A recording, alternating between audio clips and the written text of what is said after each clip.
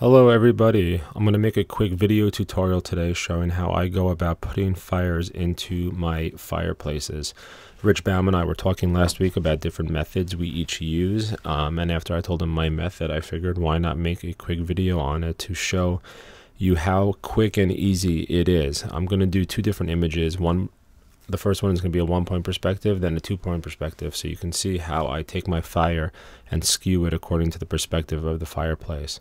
I also use a stock image I have of a fire on a black background, which if you're watching this on our Shooting Spaces blog, um, I will include the file below for everybody to use as well.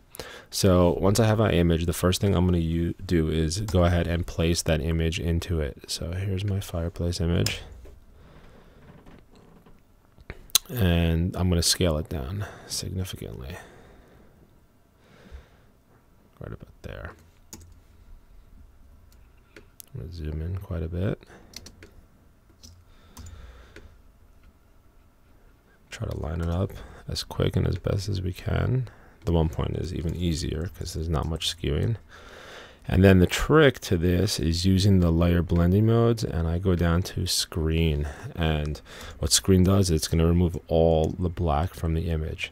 Um, then I usually change my opacity to about 50% between 50 and 75% until I see what I like. Um, looking at about probably 65 here looks good and then to finish it off what I do is I take a black mask um, or a white mask with black paint and just at about 30% I just kind of brush in the bottom just so you can see the fire coming through some of those rocks or wood for that matter. And that's it. I mean pretty quick pretty easy and pretty straightforward. Now the second image is going to be a little more complicated because we have to skew it's the you know the same same living room but a different image. What I'm going to do is I'm going to place the image right back in there. And scale it down significantly again.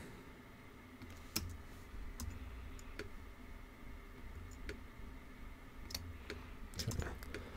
Now I'm going to try and line up the bottom corner.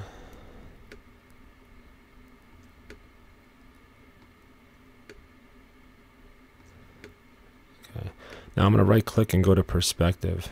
When I click on perspective, I'm able to just bring up the side that I want to bring up and skew it kind of more into the perspective of the shot. I'm going to apply that and like I did before, go in and hit screen. That's going to remove all the black. Just bring it up a little. It's a little too high.